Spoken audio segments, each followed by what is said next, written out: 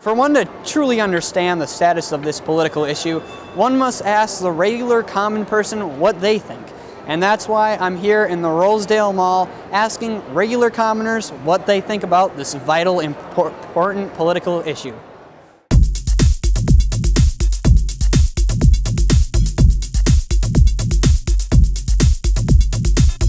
Do you think you, would you like to get paid more and by how much?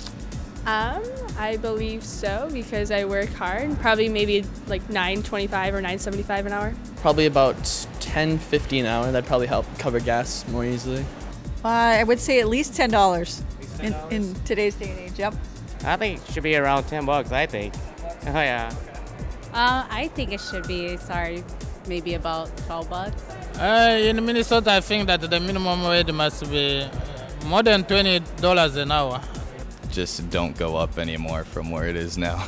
In a macro perspective, I believe that there's it's worse for the economy for companies who have to pay higher minimum wages because that offset expense is going to reduce jobs elsewhere or reduce money going back into the economy. So as a whole, I think it will actually falter more. Do you think it should be up to the federal government to choose a national standard for the minimum wage, or do you think it should be left up to the states?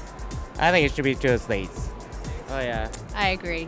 I think it should be like as it is now, uh, depending on the federal government, what the base minimum wage is, but then a state should be able to set it higher, like California did. I'm a bigger fan of the state.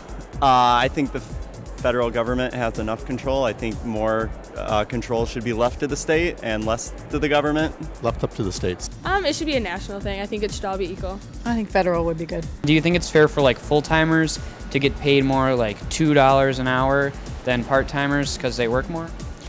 No, because they're probably putting in the same the same type of work, so should be paid for the same amount of hours. I think there needs to be some benefit for people that work full time because they are putting forth more hours, they're putting forth more energy. Um, you know, it's more sacrifice with their family life or home life or whatever else. So I think there should be some compensation for working more hours. No, I don't think it's yeah, fair I think all. it should be evenly out, you know. Yeah. Yeah, it doesn't matter what, how many hours you work, you know, so, I agree. yeah. Yeah. In a way, yeah, because they work all the time and they deserve it.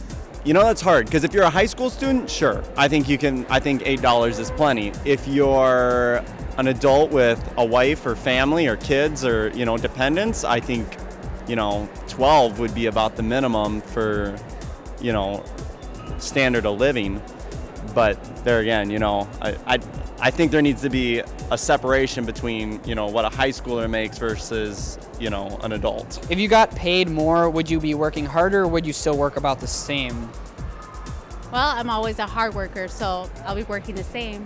That's a good answer. Yeah, but I think it's all up to the person itself. Mm, If I got paid more, I'd probably work harder because I know I'm getting more money. So.